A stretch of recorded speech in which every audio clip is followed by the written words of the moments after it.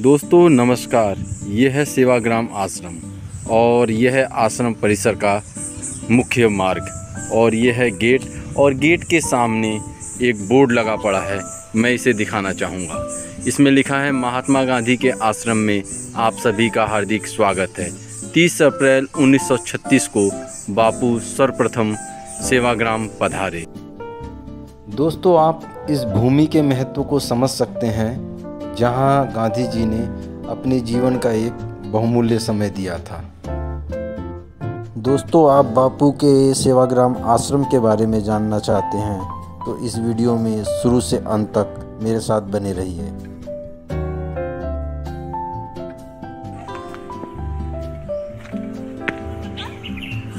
दोस्तों, इसी कुटिया में बापू निवास करते थे।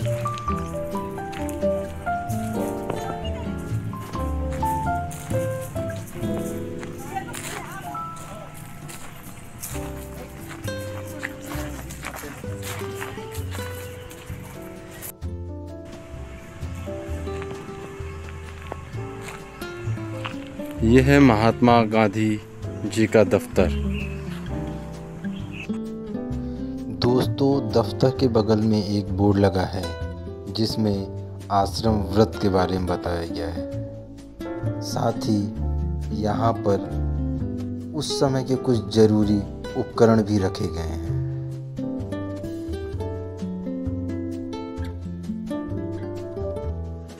दोस्तों बापू कुटी के बगल में ही बा कुटी है। इस कुटी में बा निवास करती थीं।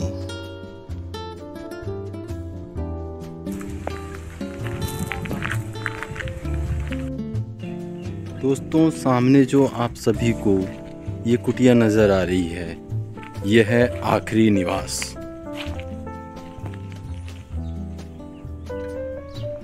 दोस्तों इसे आखिरी निवास इसलिए कहा जाता है क्योंकि 25 अगस्त 1946 को बापू इसी मकान से दिल्ली गए और फिर उन्होंने दिल्ली में आखिरी सांस ली। दोस्तों, यह बापू के वज़न करने का तराजू है, जो आज भी बिल्कुल सुरक्षित है।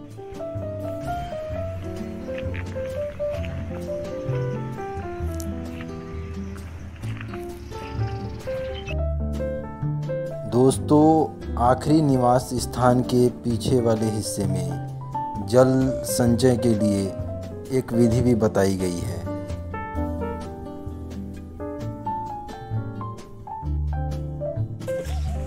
दोस्तों ये जगह बापू की सूर्य स्थान की जगह है। बापू मालिश के बाद धूप चिकित्सा हेतु इसी स्थान पर बैठते थे। दोस्तों परचुरे जी संस्कृत के एक ज्ञाता थे। उन्हें कोण हो गया था तो महात्मा गांधी जी ने उनकी इस स्थान पर सेवा की थी। इसी स्थान को परुचरे कुटी के नाम से जाना जाता है। दोस्तों, आश्रम में इस तरीके से आपको जैविक खेती जगह जगह पर देखने को मिल जाएगी।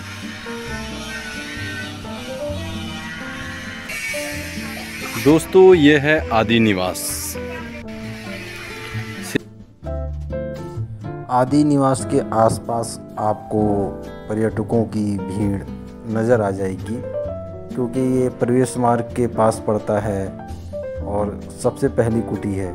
इसलिए यहाँ पे अक्सर लोग नज़र आ जाते हैं। ये है प्रार्थना भूमि। बापू यहीं पर प्रार्थना करते थे और आज भी लोग निरंतर सुबह और शाम में प्रार्थनाएँ करते हैं। प्रार्थना सभा में कोई भी व्यक्ति आकर प्रार्थना कर सकता है। इस स्थान पर जूते और चप्पल पहनकर प्रवेश वर्जित है। इस चीज़ का हमें ध्यान रखना चाहिए।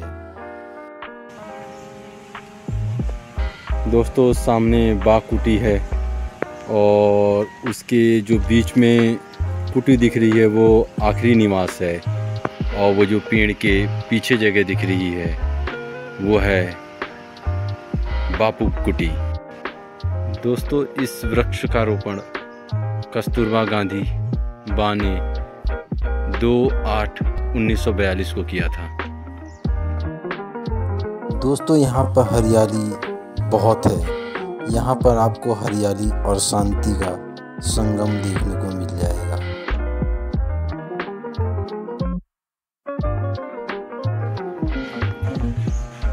दोस्तों, ये वृक्षारोपण संत विनोबा भावे जी ने भूदान आंदोलन के समय किया था।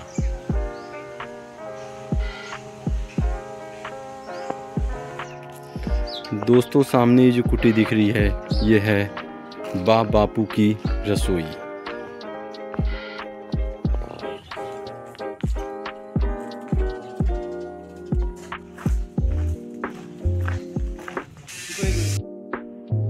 इस टेबल पर भोजन रखकर बापू और बा सब लोगों को परोसा करते थे और इसी स्थान पर सबके साथ मिलकर भोजन ग्रहण करते थे।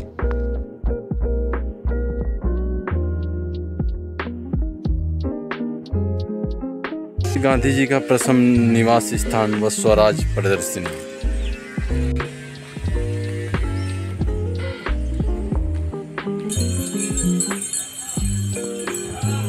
दोस्तों ये है आदि निवासी स्थान। इसे आदि निवासी स्थान इसलिए कहा जाता है। सबसे पहले 30 अप्रैल 1936 को बापू जब से गाँव सेवाग्राम आए थे, तब यहाँ अमृत का बगीचा और कुआँ था।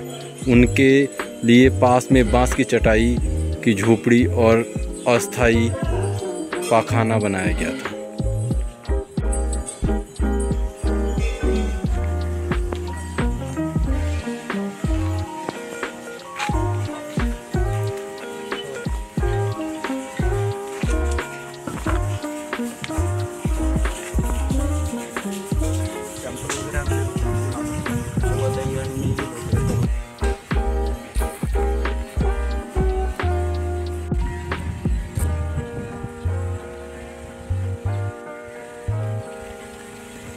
दोस्तों, यहाँ के अनुसार आदर्श गाँव के कुछ सिद्धांत हैं जो यहाँ पर लिखे गए हैं।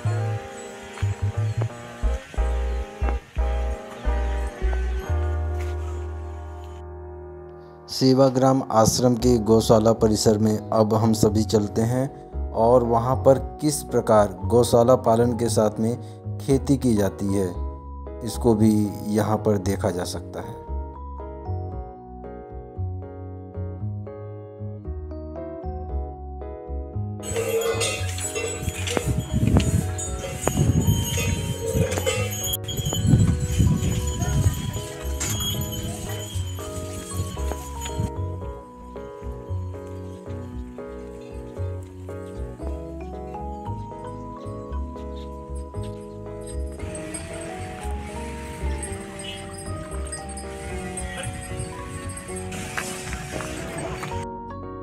दोस्तों, यहाँ पर ग्राम उद्योग पर आधारित बहुत सारी दुकानें हैं, जहाँ पर आपको खादी से संबंधित बहुत सारी चीज़ें मिल जाएँगी। यहाँ पर खादी वस्त्र बहुताय मात्रा में मिलता है।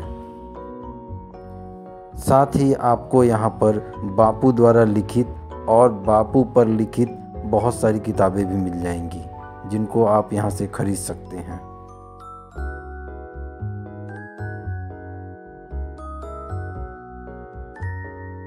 दोस्तों, कपास से कपड़ा कार्यशाला।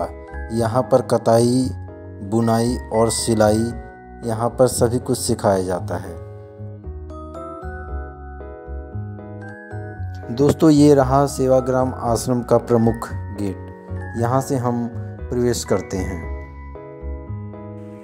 दोस्तों, सेवाग्राम आश्रम घूमने के बाद हम अब चल रहे हैं नई तालीम परिसर में, लेकिन नई तालीम परिसर में वीडियो बनाना मना है, इसलिए मैं आपको उधर की बहुत सारी चीज़ें नहीं दिखा सकता। दोस्तों, इस वीडियो को पूरा देखने के लिए आपका धन्यवाद। अगर ये वीडियो आपको पसंद आया है वो तो मेरे चैनल को सब्सक्राइब करें, इस वीडियो को लाइक करें, कमेंट करें और शेयर करें।